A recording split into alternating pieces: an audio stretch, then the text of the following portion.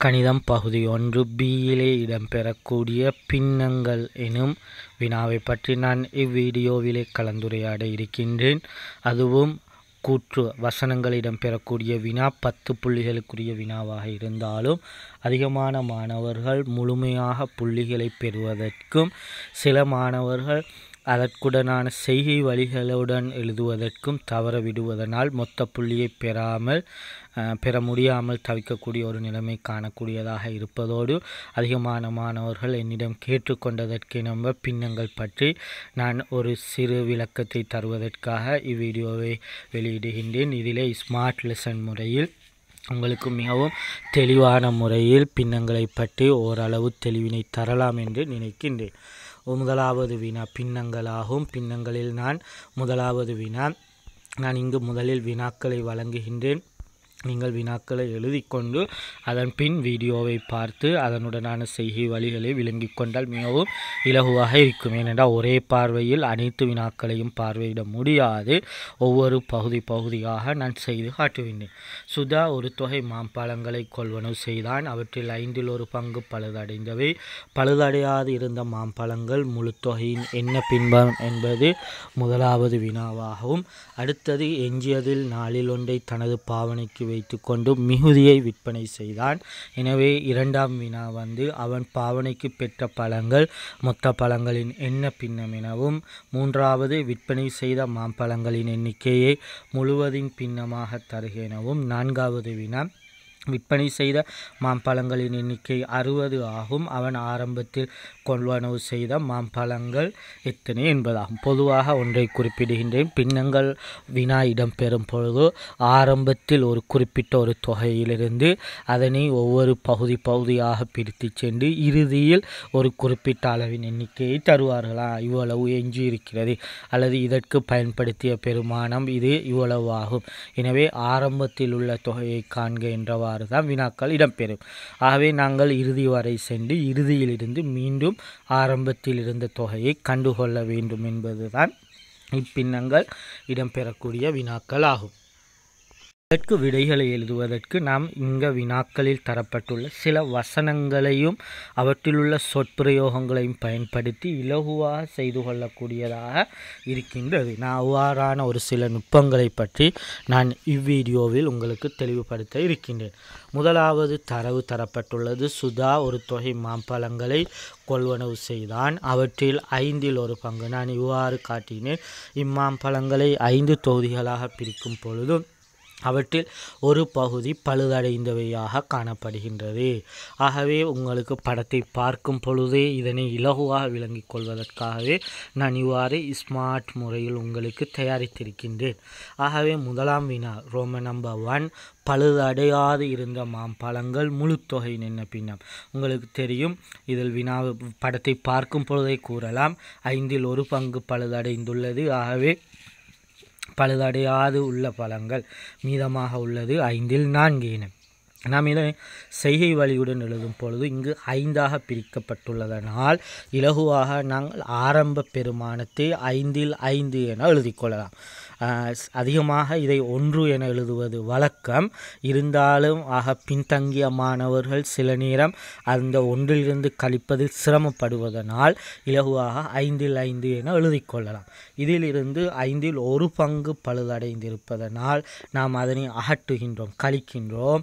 கழிக்கும் பொழுது பழுதடையாது இருந்தது ஐந்தில் நான்கு என பெறப்படும். ஏனென்றால் இங்கு பகுதி எண் சமன் எனவே நாம் போமாசி காண வேண்டிய அவசியமில்லை.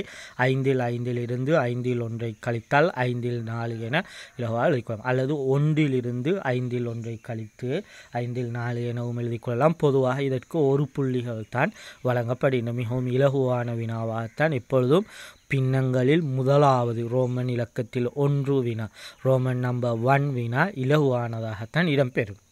அதன் பிறகுள்ள வினாக்களில்தான் மாணவர்கள் தடுமாறக்கூடியதை காணக்கூடியதாக இருக்கின்றது.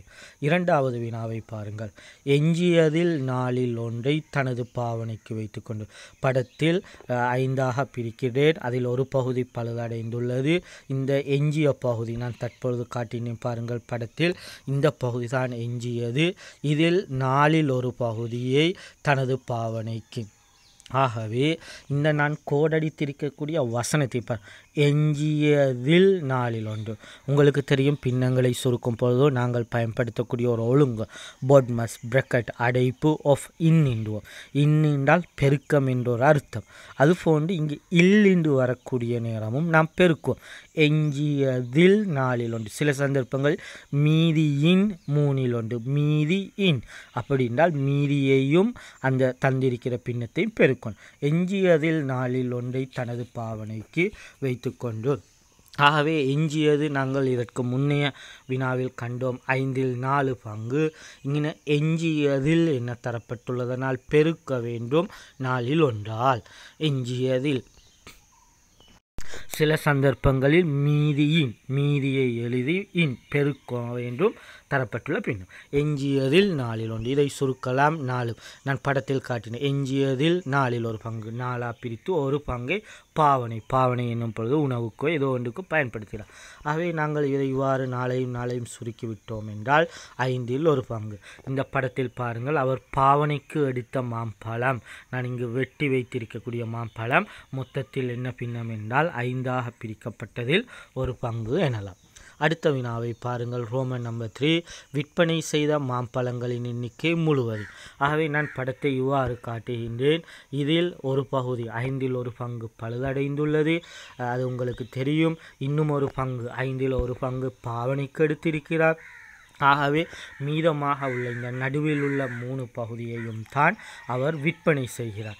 நாங்கள் அதை செய்கை வழியுடன் எழுதும் பொழுதோ இதற்கு முன் பயன்படுத்தியவைகளை கூட்ட வேண்டும். பழுதடைந்தது. ஆரம்பத்தில் ஐந்தில் ஒன்று பழுதடைந்தது என தரப்பட்டுள்ளது. அடுத்த வினாவில் எஞ்சியதில் நாளில் ஒன்று பாவனைக்கு. எனவே பழுதடைந்ததையும் பாவனையையும் கூட்டினால் ஐந்தில் இரண்டு என பெறப்படும். இதிலிருந்து எஞ்சியதை அவர் விற்பனை செய்கிறார். எஞ்சியதை விற்பனை செய்கிறார் என தரப்பட்டிருப்பதனால் மொத்த பின்னத்தை ஐந்தில் ஐந்து என எழுதிக்கொண்டு அதிலிருந்து பழுதடைந்ததையும் பாவனையையும் கழிக்க வேண்டும். ஐந்தில் இரண்டை கழிப்போம் ஆயின் இங்கு விற்பனை செய்த பழங்களின் பின்னம் ஐந்தில் மூணு என பெறப்படும். மீண்டும் மேலே உள்ள படத்தை பாருங்கள்.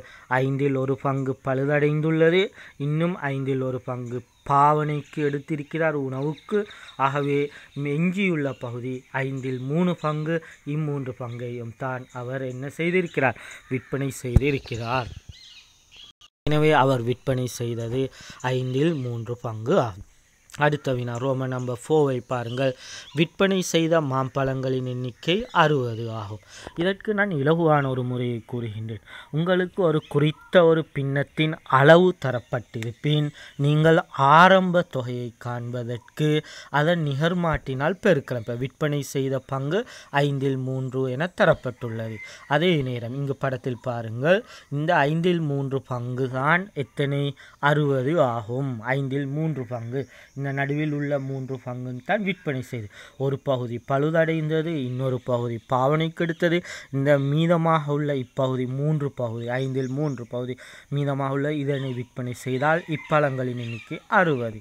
எனவே இதில் ஒரு பகுதியின் பெருமானம் அறுபதை மூன்றால் பிரித்தால் இருபது என பெறப்படும். ஆகவே அவரிடம் ஆரம்பத்தில் உள்ள மொத்த பழங்களின் எண்ணிக்கை காண்பதற்கு இங்கு மொத்தம் ஐந்து பகுதிகள் இருப்பதனால் இருபதை ஐந்தால் பெருக்கிக் கொள்ளலாம். இல்லையா? நாம் இதை இவ்வாறு எழுதிக்கலாம். அறுபதை இத்தரப்பட்டுள்ள பின்னத்தை நிகர் மாட்டு ஐந்தில் மூன்று என்றால் மூன்றில் ஐந்தால் பெருக்கலாம். அதாவது நான் இங்கு இந்த படத்தில் விளங்கப்படுத்திய அதே நுட்ப முறை தான் இங்கு பயன் பாருங்கள். நீங்கள் எவ்வாறு இதை கண்டீர்கள்? இங்கு விற்பனை செய்தது உங்களுக்கு தெரியும் மாணவர்களே. இங்கு விற்பனை செய்த பழங்களின் எண்ணிக்கை அறுபது. அறுபது என்பது எத்தனை பங்கு? மூன்று பங்கு. எனவே ஒரு பங்கு காண்பதற்கு நாம் என்ன செய்ய வேண்டும்? அறுபதை மூன்றால் பிரிக்க வேண்டும். மொத்த பங்கு காண்பதற்கு ஐந்தால் பெருக்க வேண்டும். அதைத்தான் நான் இங்கு எழுதுகிறேன். இவ்வாறு எழுதும் பொழுது நாம் முதலில் அறுபதை மூன்றால் பிரித்தால் ஒரு பங்கு இருபது என பெறப்படும். மொத்தம் ஐந்து. எனவே அதை ஐந்தால் பெருக்கும் பொழுதோ இங்கு அவரிடம் ஆரம்பத்தில் இருந்த அல்லது அவர் கொள்வனவு செய்த மொத்த மாம்பழங்களின் எண்ணிக்கை நூறு என இலகுவாக எழுதிக்கொள்ளலாம் எனவே நான் இங்கே உங்களுக்கு ஒரு வினாவை விளங்கப்படுத்தியிருக்கிறேன். படத்துடன் தொடர்பு படுத்தி பின்னங்களுடன் தொடர்பு பட்டது. நான் இன்னும் ஒரு வினாவை விளங்கப்படுத்துகின்றேன். பாருங்கள். விளங்காத மாணவர்கள் இருந்தால் மீண்டும் வீடியோவை ப்ளே பண்ணி ப்ளே பண்ணி பார்க்குமாறு கேட்டுக்கொள்கின்றேன். சில நேரங்களில் நீங்கள் ஒரு முறை பார்க்கும் போது உங்களால் புரிந்து கொள்ள முடியாமல் இருக்கலாம். மீண்டும் நிறுத்தி நிறுத்தி வீடியோவை பார்வையிடுவதன் மூலம் பார்க்கலாம். அடுத்த வினாவையும் நான் முதலில் ஆரம்பத்தில் வினாவை தருகின்றேன். நீங்கள் வினாவை எழுதி கொண்டு ஒவ்வொரு படிமுறைகளாக பாருங்கள். அரச ஊழியர் ஒருவர் அவருடைய சம்பளத்தில் மூன்றில் ஒன்றை உணவிற்கும் ஒன்பதில் இரண்டை உடைகளுக்கும் ஒதுக்கினார். முதலாம் வினா உணவிற்கும் உடைகளுக்கும் ஒதுக்கியது மொத்த பணத்தில். என்ன பின்னம்? இரண்டாவது அவருடைய சம்பளத்தில் எஞ்சிய பகுதியில் நாளில் ஒன்றை வங்கியில் வைப்புச் செய்தார். வைப்புச் செய்த தொகை முழுவதின் என்ன பின்னம்? மூன்றாவது அதன் பின் அவரிடம் எஞ்சும் பணம் மொத்த பணத்தின் என்ன பின்னம்? இறுதி சம்பளத்தில் எஞ்சியுள்ள ரூபா அறுபதாயிரத்தை சார் மன்னிக்கவும் சம்பளத்தில் எஞ்சியுள்ள ரூபா ஆறாயிரத்தை வைத்திய செலவிற்கு ஒதுக்கிய பின்னர் சம்பளத்தில் ஐந்தில் ஒரு பங்கு எஞ்சியதெனின் அவரது மாதச் சம்பளம். நான் ஆரம்பத்தில் கூறியது போன்று ஒரு குறித்த தொகையை ஒவ்வொன்றுக்காக ஒதுக்கி ஒதுக்கி வரும் பொழுது இறுதியில் ஆறாயிரம் ரூபா பணம் ஏதோ வைத்திய செலவுக்கு பயன்படுத்தி இருக்கிறார் இதிலிருந்து நாம் ஆரம்பத்தில் இருந்த தொகையை காண வேண்டும். இதுதான் பொதுவாக பின்னங்களில் இடம்பெறக்கூடிய வினாவாகும். நாங்கள் எவ்வாறு இந்த வினாவை செய்யலாம்? பாருங்கள். இங்கு தரப்பட்டுள்ள தரவு. இது அரச ஊழியர் ஒருவருடைய சம்பளம். இதை மூன்றாக பிரிக்கிறார். அதில் ஒரு பங்கை என்ன செய்கிறார்? உணவுக்கும். அதன் பின் ஒன்பதில் இரண்டை உடைகளுக்கு. நாங்கள் இதை ஒன்பதாக பிரிக்க வேண்டும். நான் இவ்வாறு கோடுகிறும் பொழுது இப்பொழுது இந்த சம்பளம் ஒன்பது பகுதிகளாக பிரிக்கப்பட்டுள்ளது. அதில் இந்த இரண்டு பகுதியை உடைகளுக்கும் ஒதுக்கினார். இங்கு வசனத்தில் நாங்கள் விடை எழுதும் பொழுது ஒன்றை நினைவில் வைத்து கொள்ளுங்கள். முதலாவது வினா உணவிற்கும் உடைகளுக்கும் ஒதுக்கியது. உணவிற்கும் உடைகளுக்கும் ஒதுக்கியது. வசனத்தில் இம் உணவுக்கும் உடைகளுக்கும் இப்படி இம் எனும் வசனம் வரும் பொழுது பொதுவாக நாங்கள் இரண்டையும் கூட்ட வேண்டும். உணவுக்கும் உடைகளுக்கும். உணவு மூணில் ஒன்று உடை ஒன்பதில் இரண்டு இரண்டையும் கூட்ட வேண்டும். ஒதுக்கியது இரண்டையும் கூட்டம். ஆனால் பகுதி எண் சமனன்று நான் இவ்வாறு பெருக்கும் பொழுது பகுதியை சமப்படுத்தி கொள்ளலாம். ஒன்பதில் மூன்று சக ஒன்பதில் இரண்டு கூட்டினால் ஒன்பதில் ஐந்து என பெறப்படும். எனவே அவர் உணவுக்கும் உடைகளுக்கும் ஒதுக்கியது. மொத்த பணத்தில் ஒன்பது ஒன்பதில் ஐந்து ஆகும். இதனை இந்த படத்திலும் பாருங்கள். உணவுக்கு மூன்று பங்கு உடைகளுக்கு இரண்டு பங்கு மொத்தமாக உணவுக்கும் உடைக்கும் ஒன்பதில் ஐந்து பங்கு. அவர் என்ன செய்திருக்கிறார்? மொத்த பணத்தில் ஒதுக்கிறார் ஆகவே இன்னும் எத்தனை பங்கு மீதமாக உள்ளது? நான்கு பங்கு பணம் மீதமாக இருக்கிறது அல்லவா? நாம் இரண்டாம் வினாவை பார்ப்போம். அவருடைய சம்பளத்தில் எஞ்சிய பகுதி எஞ்சிய பகுதி என்பது நாளில் ஒன்றை வங்கியில் வைப்பு செய்கிறார். நான் ஆரம்பத்தில் கூட இங்கே ஒரு வசனம் காணப்படுது எஞ்சிய பகுதி இல் இல் என தரப்பட்டுள்ளதனால் நாங்கள் பெருக்க வேண்டும் எஞ்சியது எஞ்சியது என்று கூறும் பொழுதோ மீதமாக உள்ளது. ஆகவே நாங்கள் என்ன செய்யலாம்?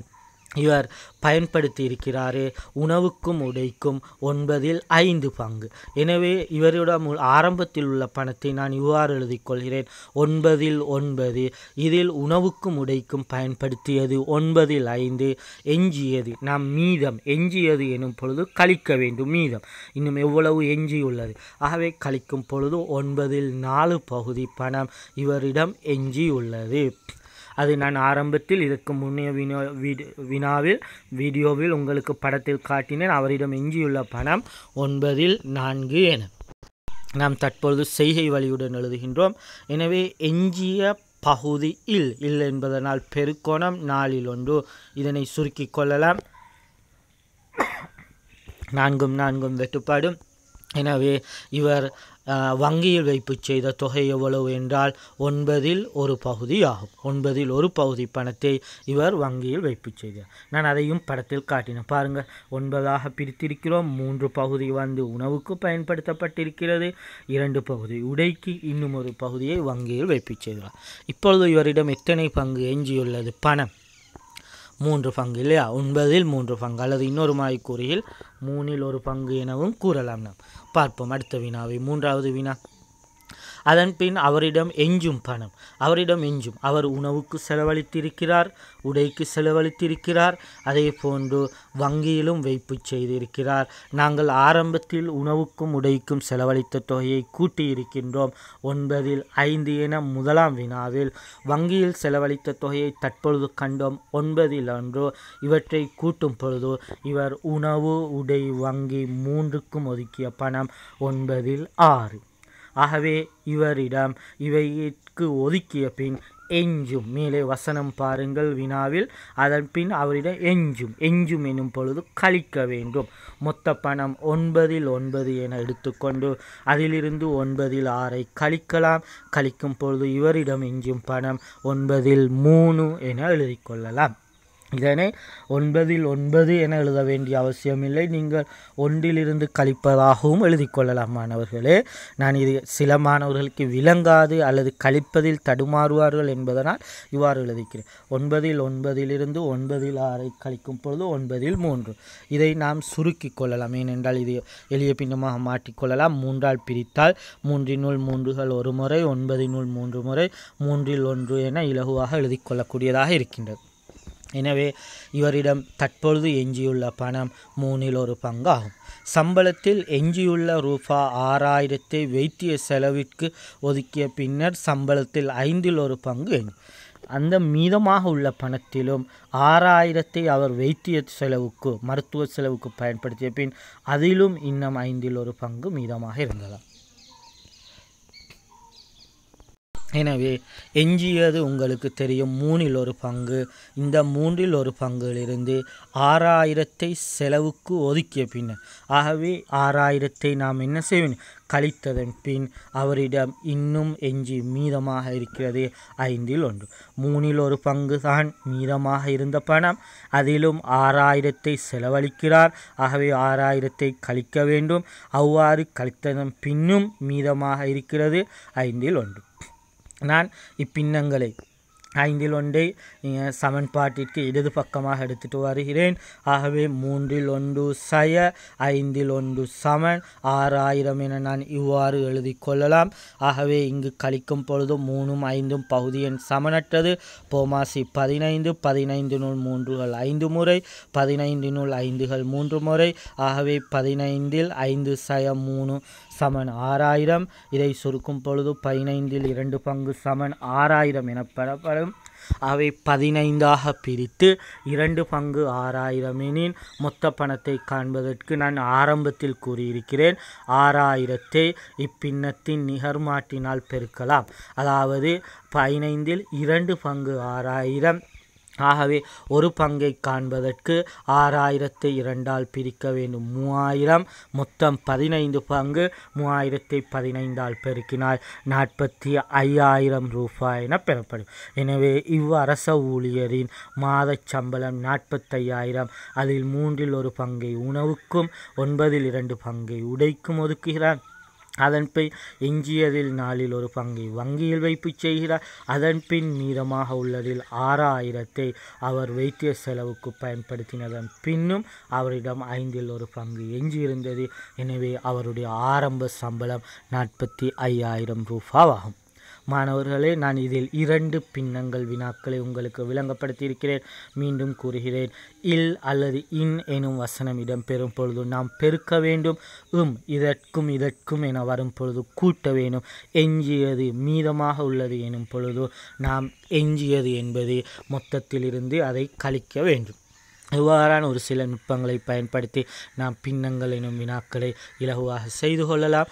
இன்னும் பல வினாக்களையும் நாம் இவ்வாறான வீடியோக்களையும் அடுத்தடுத்த வீடியோக்களில் பார்க்கலாம். வினாக்களை பற்றி உங்களுக்கு இவ்வாறான வீடியோக்கள் தேவையாயின் நீங்களும் என்னுடைய யூடியூப் பக்கத்தை சப்ஸ்கிரைப் செய்யுங்கள். அத்தோடு எனது இ கல்வி ஃபேஸ்புக் பக்கத்தை லைக் செய்யுங்கள்.